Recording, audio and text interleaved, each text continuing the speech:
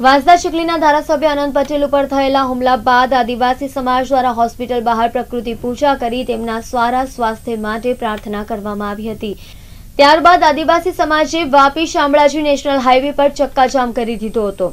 ખેરગામમાં ભાજપના કાર્યકર્તાઓ દ્વારા કરવામાં આવેલા હુમલામાં ઇજાગ્રસ્ત બનેલા કોંગ્રેસના ધારાસભ્ય અનંત પટેલ વાંસદાની ખાનગી હોસ્પિટલમાં સારવાર લઈ રહ્યા છે. રાજકીય હુમલાનો ભોગ બનેલા ધારાસભ્ય અનંત પટેલના સમર્થનમાં આદિવાસી સમાજ રોડ પર ઉતરી આવ્યો છે.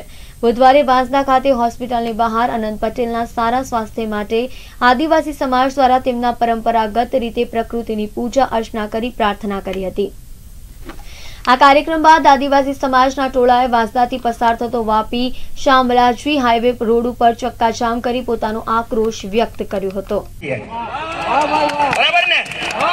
પણ યાદ રાખે અહીંયા મીડિયાના માધ્યમથી જેટલા પણ ફેસબુક પર લાઈવ હોય એના હેલો